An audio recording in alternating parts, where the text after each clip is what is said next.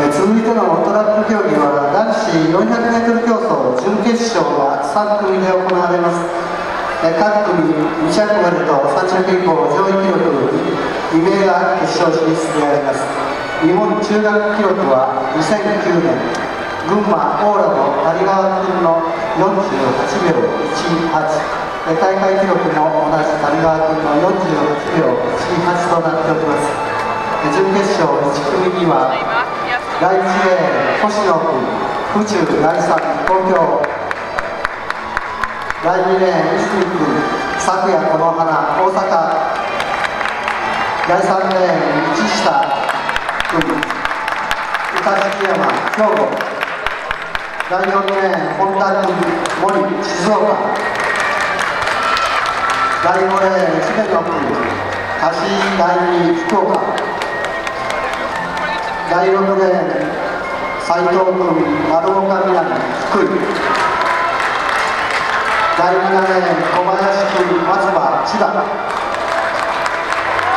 第8レーン、中津区、遠藤、神奈川。以上、8名で男子 400m 競争準決勝1組です。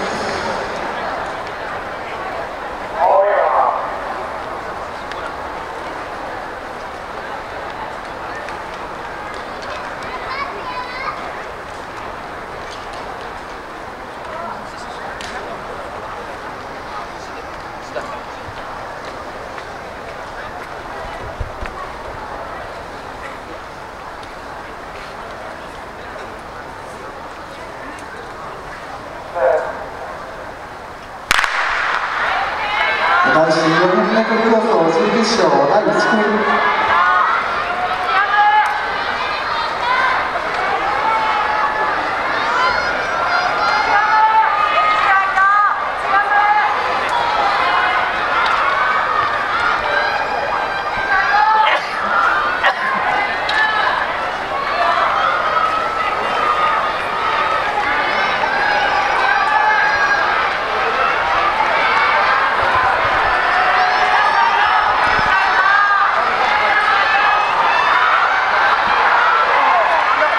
作業員は市下君、歌式山遊ぶ。